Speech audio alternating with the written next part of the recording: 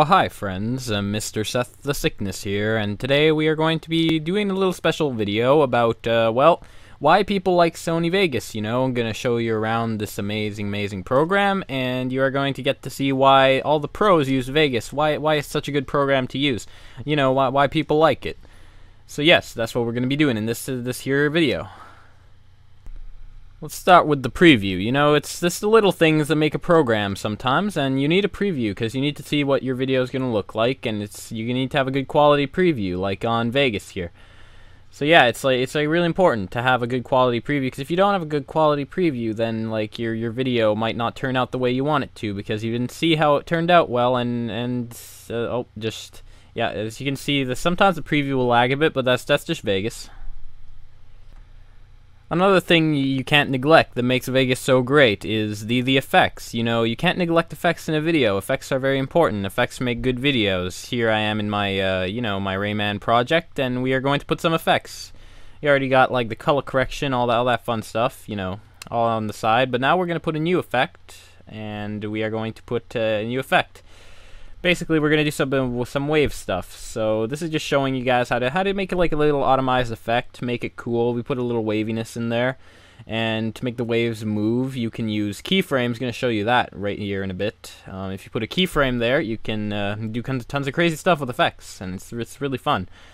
And basically, you can either move the effects down, move the effects up, and that way, since the waves are moving down and up, it'll make a it'll make a wavy motion. So the waves will kind of be moving. It's gonna make it makes for a good effect. So now, now I'm going to show you guys a bit how, how you do that. If you guys want want to see how the effect turns out, this this this is how it how it goes. So you see, you got a bit of waviness out of that at the beginning, just giving you an eye. Oh, oh. Well, you know the the, the preview is gonna stop. This is gonna stop lagging at some point. No. No, no. The this just go. Oh, oh. Now now it's not responding. It doesn't it doesn't respond anymore we have a problem.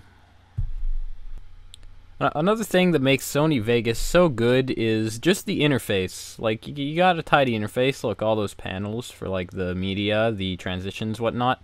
Also, you have some pretty cool functions here. I'm going to select this, and I'm going to press Shift-B.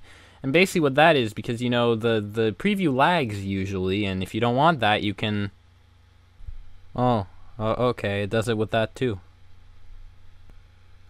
My god. This is it.